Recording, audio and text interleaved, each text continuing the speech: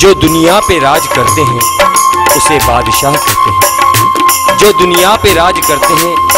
उसे बादशाह कहते हैं जो सबके दिलों पे राज करते हैं उन्हें बाबा गेरा राम कहते हैं बाबा गेरा राम कहते हैं जय बाबा